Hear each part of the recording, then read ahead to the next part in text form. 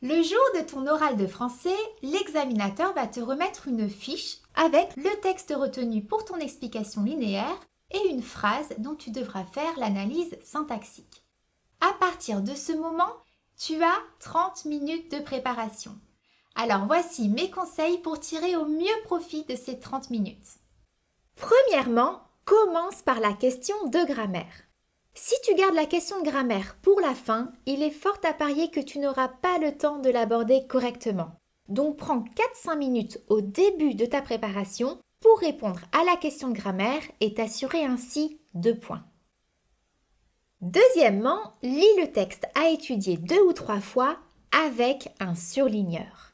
Cette lecture rapide va t'aider à te remémorer les points clés de l'extrait à étudier et à identifier la structure interne du texte.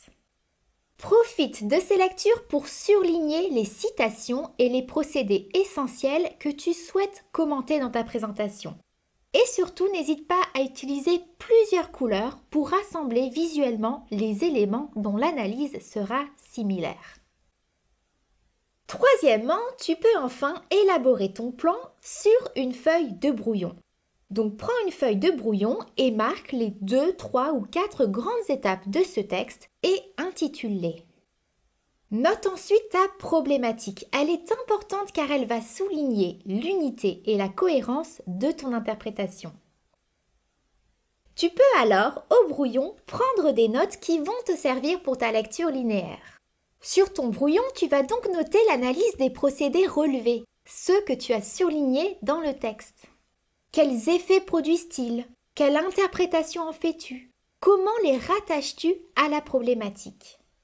Surtout ne rédige pas de phrases entières comme dans un commentaire composé. Tu n'en as pas le temps. Il faut juste écrire les procédés littéraires et leurs effets sous forme de notes. Par exemple, tu vas noter au vers 8, il y a une antithèse, ripleur, sentiment contradictoire du poète. À partir de ces notes, tu vas pouvoir élaborer des phrases plus naturelles à l'oral, ce qui est vraiment attendu de toi par l'examinateur.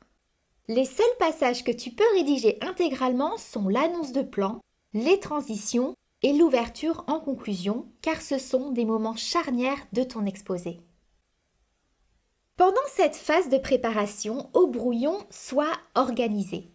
Pour éviter de te retrouver devant l'examinateur avec 10 feuilles volantes que tu retournes dans tous les sens, suis des règles toutes simples. Déjà, n'écris qu'au recto de tes feuilles et numérote-les. Utilise aussi une feuille différente pour l'introduction, la conclusion et chaque partie. Comme cela, s'il te reste du temps en fin de préparation, tu pourras compléter proprement ton brouillon sans qu'il ne soit nécessaire d'ajouter des flèches ou des astérisques qui te feraient perdre le fil de ta présentation. Pense aussi à surligner directement dans le texte les mots et expressions à citer. C'est très important car tu n'as pas le temps de recopier toutes les citations sur ton brouillon, donc les citations peuvent rester dans le texte mais surlignées pour que tu les retrouves facilement. Enfin, conseil très important, durant tes 30 minutes de préparation, un autre élève passe son oral devant toi, ce qui est toujours très perturbant. Pour te concentrer, pense à mettre des bouchons d'oreille. Et oui, la réussite tient parfois à ce genre de détails. Je te souhaite toute la réussite possible à l'oral et rendez-vous sur commentairescomposés.fr où tu pourras suivre mes autres vidéos de méthode sur la lecture linéaire et sur l'œuvre à présenter à l'entretien, ainsi que mes nombreuses lectures linéaires pour t'aider à l'oral. À bientôt!